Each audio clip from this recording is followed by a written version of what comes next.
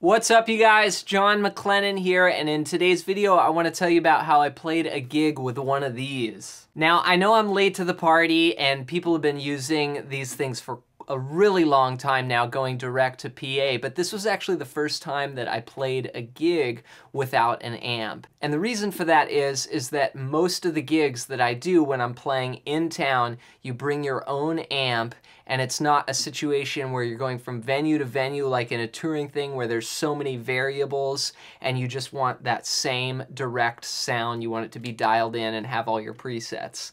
I play a lot of the times with just very little effects. I'm playing clean and I'm playing distorted, maybe a little reverb, little delay, a little trem, maybe a wah. You guys can see my other video. It's called What's on My Pedal Board and I just go through what's on my basic sort of gigging pedal board that I put together not too long ago.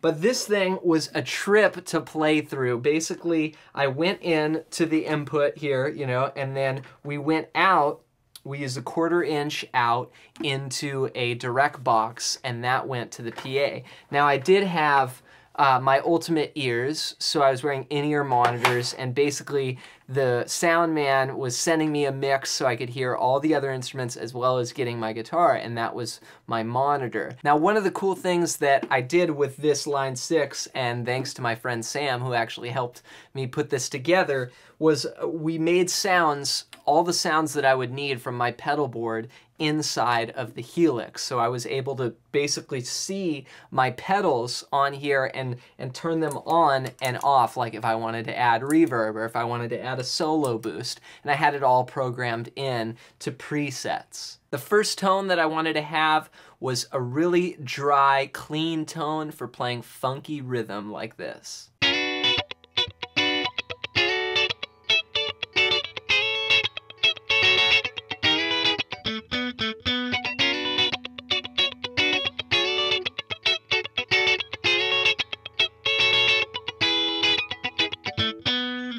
Lot of the times with dance bands, that's what I'm playing most of the time is just funky parts like that. Next up, I wanted to add a hall reverb just to give the tone a sense of ambience and fill it out a little bit.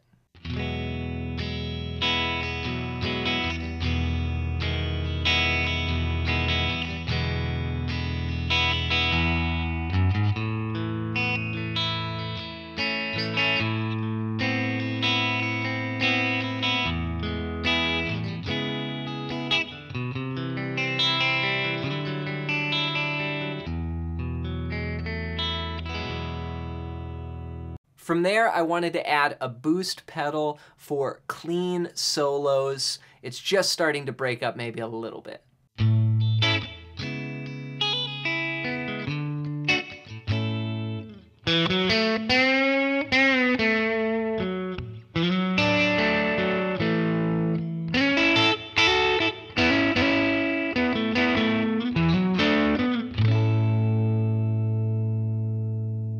Another tone I love to have is a good country slap delay. So I'm going to add a little bit of compression and a transistor tape delay.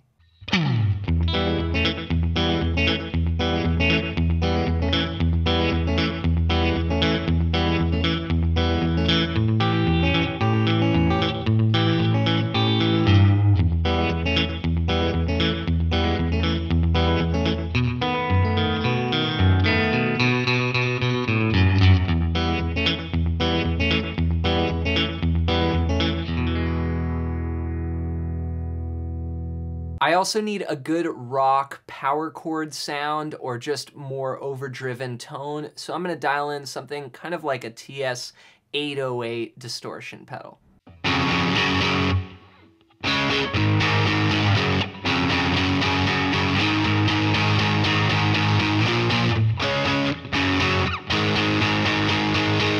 From there, I'd like to also add a little delay with some modulation, kind of like a memory man setting, like the way the Edge would use from U2.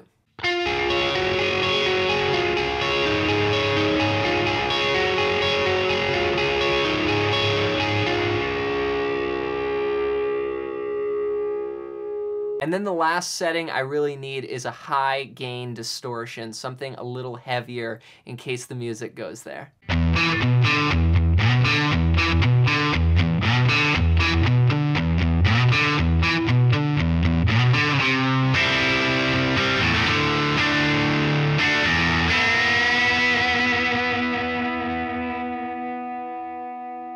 There you go. Those were the sounds that I used just for a quick gig with this Line 6 Helix. Let me know, do you guys like plugging in direct? Do you mic up amps?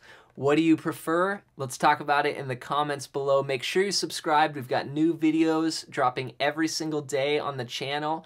Also, if you're interested in soloing, you can click the link in the description and get a free PDF. It's a book I wrote called Melodic Expressions, all about soloing. You can get that as my gift to you for checking out this video. Don't forget to hit the thumbs up button, and we'll see you guys in another video real soon.